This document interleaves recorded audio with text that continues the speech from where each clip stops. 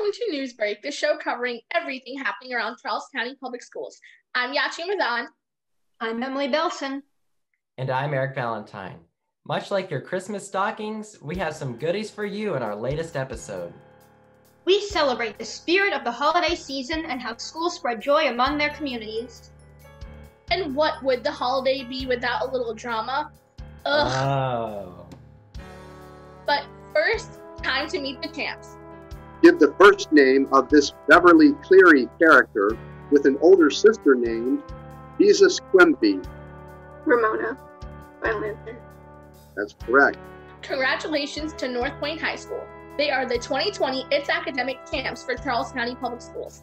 Much like most things because of COVID 19, the format was altered with each team answering 24 questions over three rounds and held via Zoom. North Point tallied 300 points, followed by La Plata with 260 and McDonough with 250. Normally, we talk to the team about winning and representing Charles County Public Schools on It's Academic on WRC TV, but we felt compelled to ask about the unusual format. I didn't feel as nervous as you know my friend was saying she was. Um, but it was also really fun just to do it like this. I felt like it's a lot more pressure than doing it live. I was just super grateful that we even got to have it this year. I was so consigned to uh, just not even having a competition, so I'm utterly ecstatic to be here. This is also my first time competing. I've been doing It's Academic for three years, and it was definitely um, a different first experience for sure, and it was a good experience overall. North Point will compete against Centreville and Poolesville High Schools on WRC TV's It's Academic. You can watch the match on February 26th. If you would like to watch CCPS's It's Academic, head to ccboe.com slash ccpstv and look under the Special Programs tab or visit the Charles County Public Schools YouTube page. You have all heard the phrase, the show must go on. Besides being used ad nauseum by a cliche driven producer, it's been uttered a lot in drama troupes worldwide. COVID 19 isn't stopping theater troupes at several Charles County high schools from showing you some drama. Hey, so I'm trying to log back into the network and it's not like working. Oh, okay. Boy, that's a challenge. I'm glad I picked up this call. I'm sorry. No, no, go ahead. Walk me through how terribly difficult this is. These two students are not being snide with one another, but are instead rehearsing for Henry E. Lackey High School's virtual play, Help Desk, a stay-at-home play. You can guess what the show is about. The Chargers rehearsed for several weeks in preparation for their December 11th show date. One of the unique things about the virtual play format is you have a limited window to show the play online, similar to how a live stage production lasts for a few days we talked to the cast and crew of Lackey about the pros and cons of doing a virtual play. We Can't quite do everything we would normally do together, and it might not be as clear when we're going back and forth with our conversations, but when we're doing it, it through online, we can there's more we can share this with more people teaching the freshmen how to act and how to actually mentor them into growing into becoming actors and it's it's very difficult to do that online. But overall, I'm just thankful to have theater again. It's a little strange to work on these shows virtually as a techie, but it's interesting to get this experience and become more well-rounded as a person in theater so I can tackle more things so that way when we get back to the building, I can figure out a bunch of plan Bs and plan Cs in case things don't go right. La Plata High will hold the Brothers Grimm Spectaculathon on December 18, followed by the Enchanted Bookshop Christmas on December 19. Both shows start at 7.30.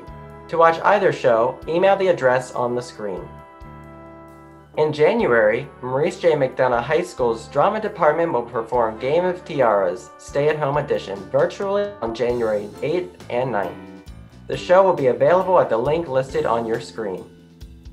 Both Westlake and St. Charles High Schools will put on shows later in 2021.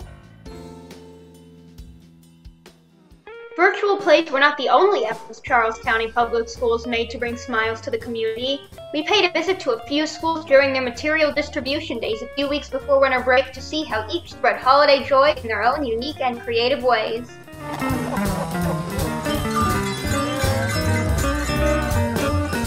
Material distribution every three weeks, but we know that the holidays are coming and our staff are really missing our parents and really missing our students. So we thought we'd put some holiday cheer on, decorate their tables, get dressed up, bring a special guest from up north, just to spread some cheer and to bring some happiness to our, our students and our families and community during this time.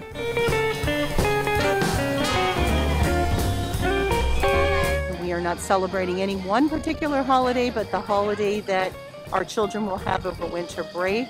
It also will allow them just again to see the staff in a lighthearted way while they're doing something that is very necessary with the instructional bags.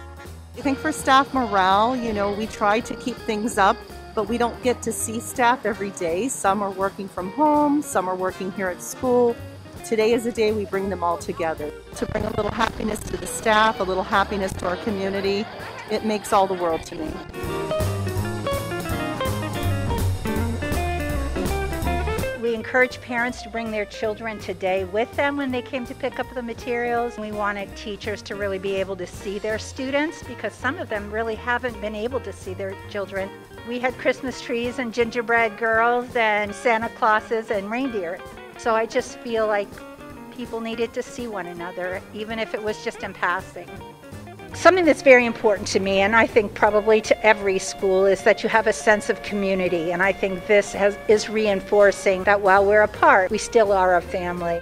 We wish all of our families a very safe and happy holiday. But please know that we miss every single one of you and that we are looking forward to the day that we can hug our students again and be back in here into the building.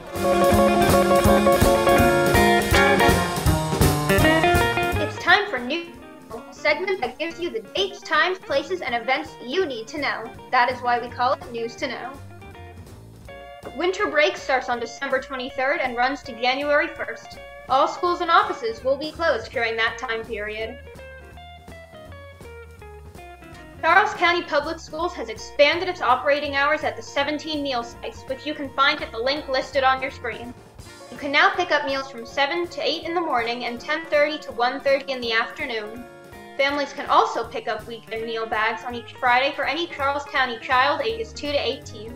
Meal items include salads, wraps, ready-to-heat pasta entrees, along with fresh fruit, vegetables, and milk. Meals will not be offered during winter break. That will wrap it up for this episode of Newsbreak. I'm Yachi Madaan wishing you a happy holidays. I'm Emily Belson. We hope you enjoyed our episode and please enjoy your holidays safely and responsibly. And I'm Eric Valentine, and I'm just going to say what everyone worldwide is thinking.